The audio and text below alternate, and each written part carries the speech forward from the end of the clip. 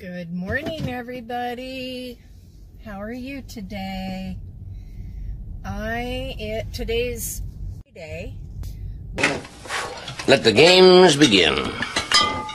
is my big day once a month to run errands and do my major grocery shopping and usually get my pedicure on that day and my car washed and all that. So That's not one another tick on the top of the really quick.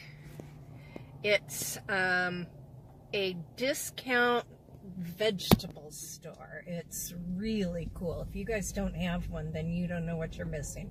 Oh, I'm tired. I think I'll go to sleep. So I get to the new Fry's Marketplace in Apache Junction. I hadn't been here before.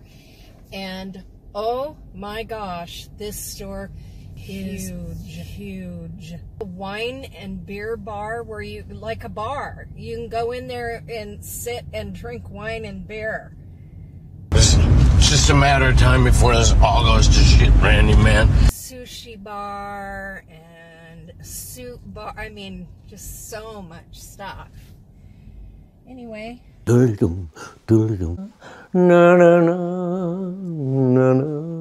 Bumbly, bumbly, bumbly, bumbly, bumbly, bumbly, bumbly. balls, I'm going to go get my pedicure.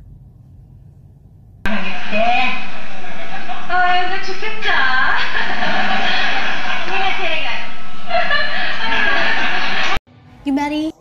or graduate from high school? You're so lucky. You don't have to work two days at a day? You're so lucky.